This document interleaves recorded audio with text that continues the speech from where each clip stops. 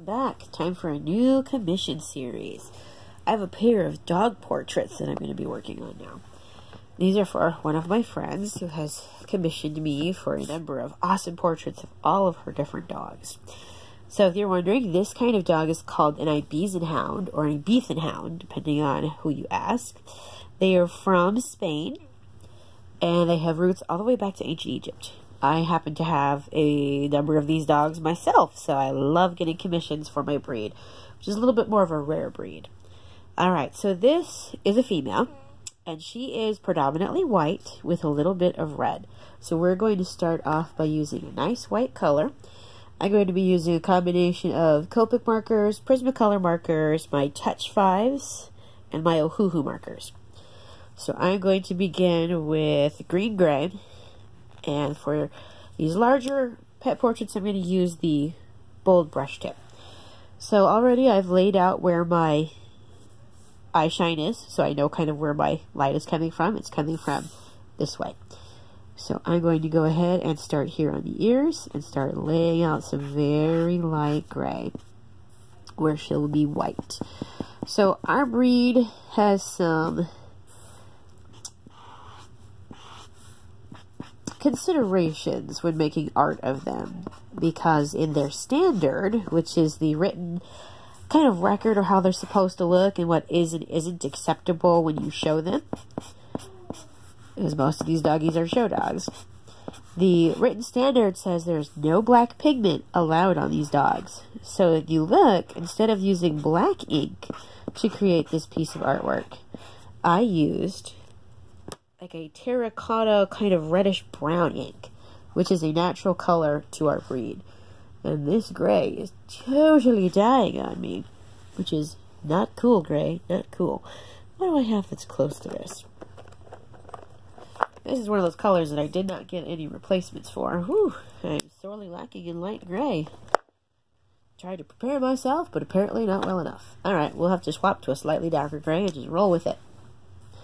Alright, this one is warm gray, which shouldn't change it too much. We'll just work right in with that. There we go. So these dogs are absolutely beautiful, but I am not the best at recreating photos of things.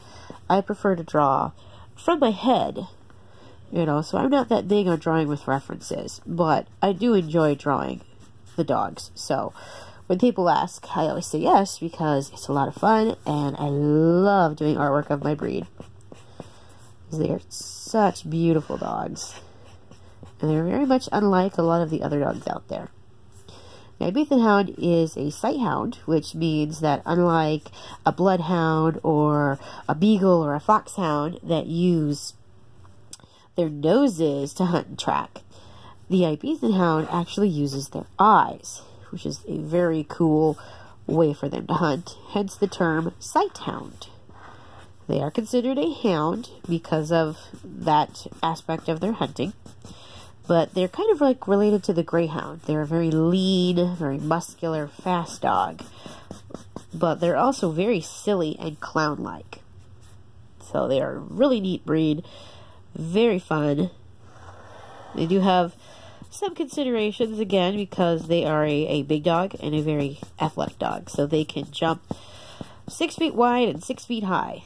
So you got to have a proper yard situation to uh, have these doggies. They are big jumpers and big runners.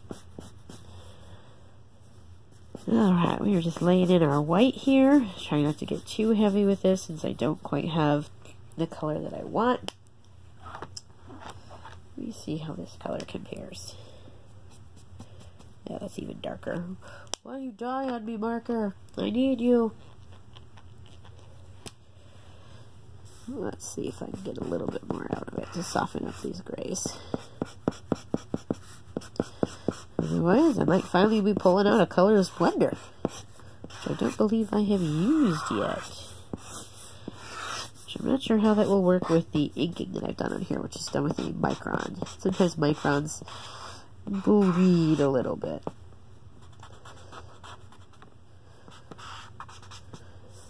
Yeah, there's barely any color coming out of this. Alright, plan B. What have I got in my Prismacolors? I've got a 40% cool gray. Could have sworn I had at least a 30.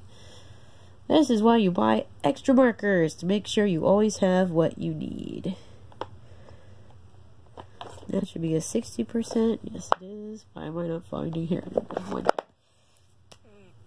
Let's see how that compares. Yeah, that's still too dark. Well, we roll with it though, don't we? This is still going to look beautiful when we're done with it. Just a little hard when you have a dog that's all white because it has different different kind of formula to think about than when I do the red dogs. This is a very expressive dog. Since she's all white, we want to make sure that we get that expression in there.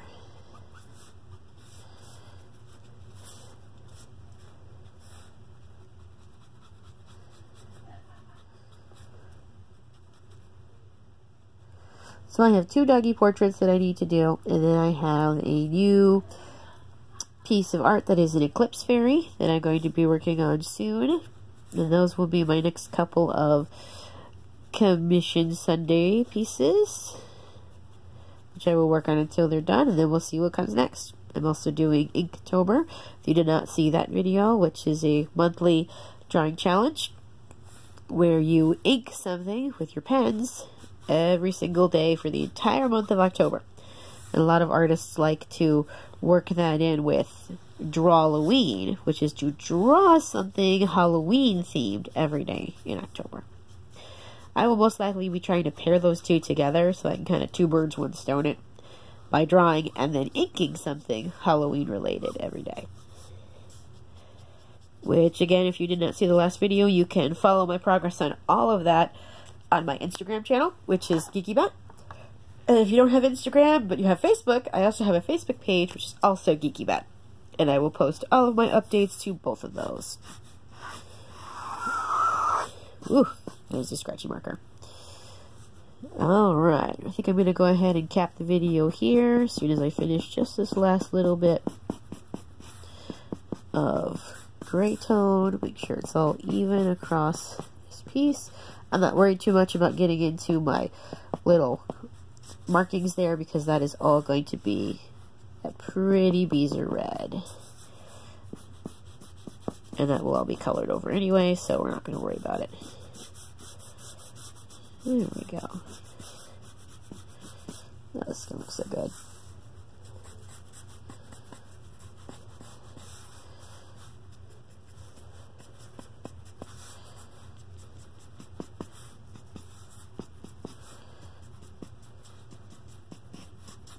Alrighty.